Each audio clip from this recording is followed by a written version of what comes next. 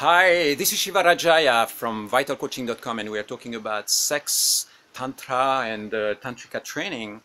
Again, these are my ideas. It's not universal truth. This is what I practice and other people might tell you something different and that's okay. The fact that we have different opinions makes us humans and this is what creates the diversity of the human race, which is fantastic. So you don't have to accept my opinion simply listen. If you can use that great. If you if it's not for you or you don't feel like it's aligned with what you feel just create your own truth. I'm cool with that okay? So here is the next distinction. You can be a tantrika and sexually inactive. I'm going to say that again. You can be a tantrika and sexually inactive. Being a tantrika doesn't mean that you go around having lots of sex you got that? Um, you can be a tantrika and engage in all sorts of uh, spiritual techniques, practices that have nothing to do with activating your sexual energy. The sexual energy is there. Some tantrikas will play with it, activate it, and some others will live in a world where they are going to use a totally different set of techniques. I will go sometimes for months. Uh, I've been going sometimes for years without actively um, using my sexual energy. Why? Because I was engaged in other types of practices, intense deep meditation practices. You can use your, your breath techniques, you can use mantras, you can use study, you can be writing, you can do all sorts of things, travel the world, be on the Himalayan mountains in a cave for an extended period of time, and none of this involves uh, the use of sexual energy. And I mean, the sexual energy is there, of course, it's still flowing in in uh, in your body and in your mind. But what I mean is that you're not actively working with it, you're not actively focusing on it. So that means that you can go for extended periods of time without having sex, without engaging into these techniques, and still uh, be a tantrika.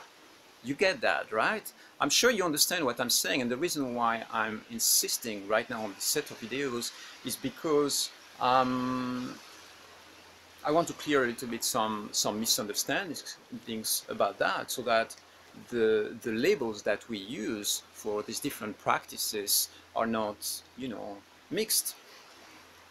So does it mean that uh, that there is no sex in the tantrika practices? No, not either.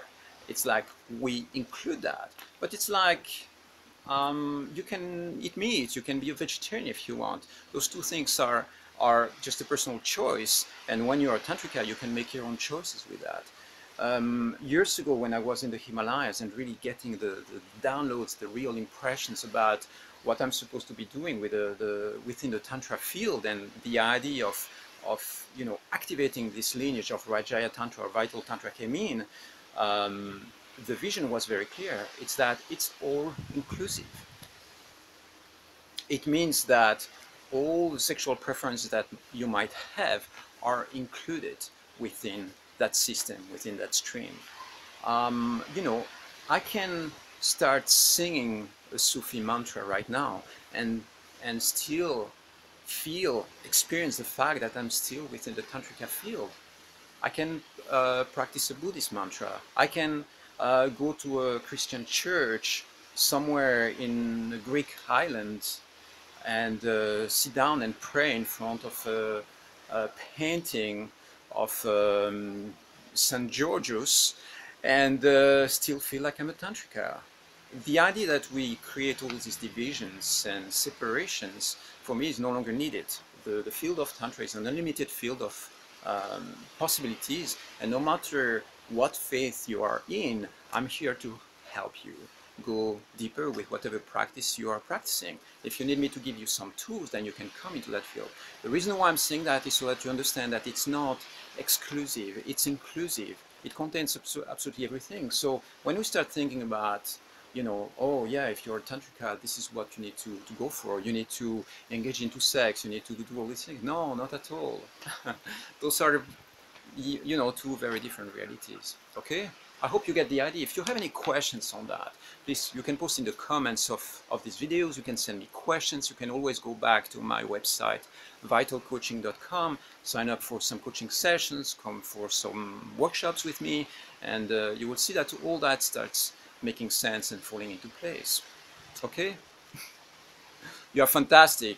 I hope you are having a great time wherever you are. Take care. Bye bye.